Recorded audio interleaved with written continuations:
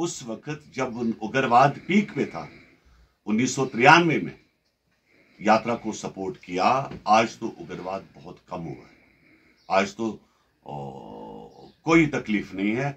हम दिल की गहराइयों से यात्रा को स्वागत करेंगे और उनकी जो यात्रा है सक्सेसफुल रहेगी और शानदार यात्रा रहेगी इस बार जो है जम्मू कश्मीर के अंदर।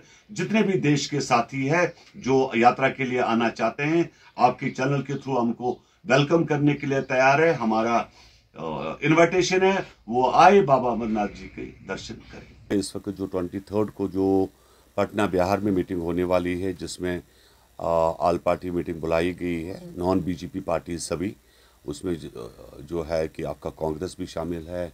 आपकी सभी जो पार्टियाँ हैं, जो नॉन भारतीय जनता पार्टी की जो लोग, जो विचारधारा जिनको बीजेपी के साथ नहीं मिलती है, वो सब पार्टीज़ इसमें शामिल है और ख़ास करके हमारे जम्मू कश्मीर से भी फारूक साहब भी जा रहे हैं और महबूब मुफ्ती भी जा रही है और हम ये मानते हैं कि 2024 जो होगा वो नॉन बीजेपी सरकार होगी और दो नॉन बीजेपी सरकार के साथ साथ जो भी इनके जो कामकाज जो हुआ है जो इन्होंने करप्शन का मामला देश के अंदर जो जाल बिछाया उन्होंने करप्शन का जो आ, कितने से लोग जो है इस वक्त देश से भागे हुए हैं जिनको उन्होंने फ्री हैंड दे दिया।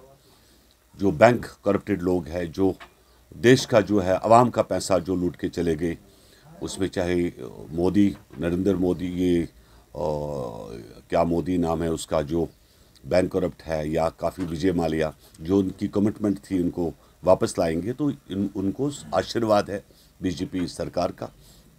और पूरा हिसाब जो है 2024 में लिया जाएगा। ये यकीन मानिए आप, इस बात पर हम लोग ये बात मानते हैं, सरकारें किसी की जागीर नहीं होती। ये आज की तारीख में भाजपा नोट करके रखे, क्योंकि काफ़ी सारी चीज़ें जो इन लोगों से सीखी।